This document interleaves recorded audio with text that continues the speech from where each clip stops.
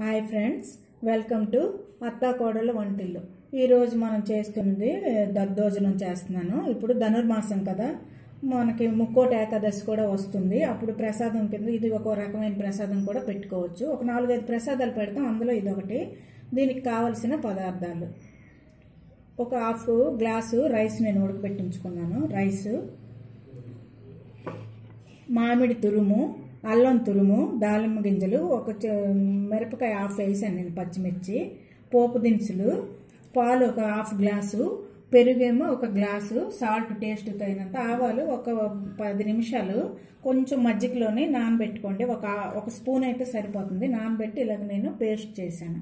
ఆవు పెట్టి దద్దోజనం చేస్తున్నాను ఇది తయారు చేయ విధానం చూపిస్తాను. ఇది హాఫ్ గ్లాస్ రైసు.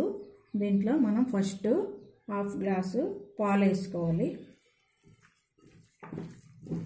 కొంచెం దగ్గర కొంచెం మెత్తగా ఉంటే బాగుంటుంది కదా అందుకు ఇలా కలుపుకోవాలి.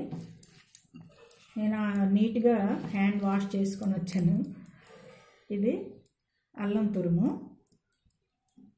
ఇది మామిడికాయ తురుము. ఇప్పుడు మా మామిడికాయలు మనకి దొరుకుతున్నాయి బజార్లో.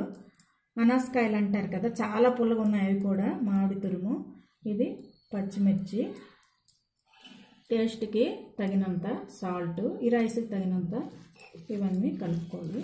ఇప్పుడు మనం ఈ పెరుగు వేసుకుందాం. పెరుగు కొంచెం పుల్లగున్నా పర్వాలేదు. ఎందుకంటే మనం పాలు వేస్తున్నాం కదా పాలు ఇవన్నీ వేయడం వల్ల ఇది మంచి టేస్టీ అయిన దద్దోజనంగా తయారవుతుంది ఇది మంచి ప్రసాదం ఇది కూడా మనం పెట్టే ప్రసాదాల్లో ఇదొకటి. ఈ నెలలో ఏదో ఒక రోజు చేసి పెట్టండి. మనం ఆవాలు పేస్ట్ చేసుకున్నాం కదా ఆవ పెట్టిన దద్దోజనం ఇది. ఇది కొంచెం హాఫ్ ఒక స్పూన్ వేసాను నేను. మనం రైస్ బట్టి మీరు వేసుకోండి.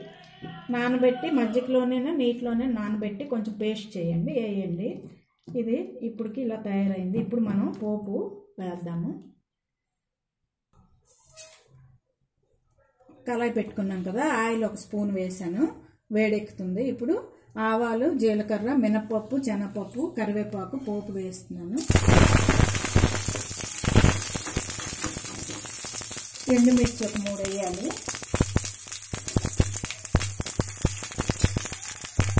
అది వేగుతుంది కదా అప్పుడు ఎండుమిర్చి వేసాం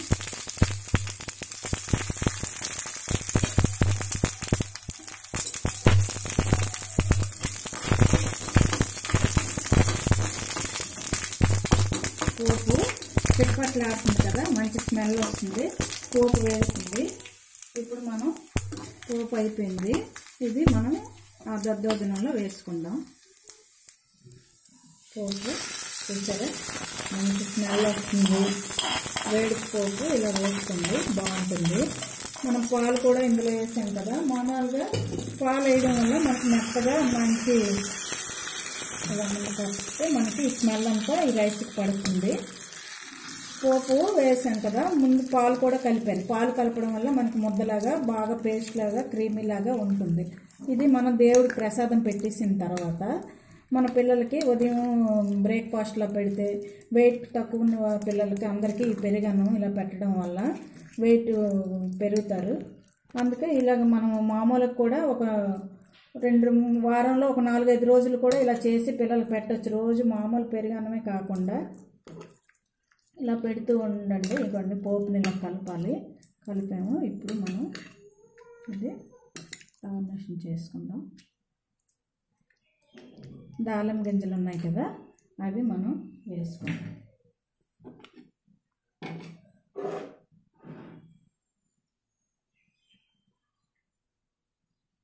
దానిమ్మల్లో మనకి పిల్లలకి అన్ని రకాల విటమిన్స్ ఉంటాయి కలర్ఫుల్గా ఉంటే పిల్లలు కూడా తింటారు.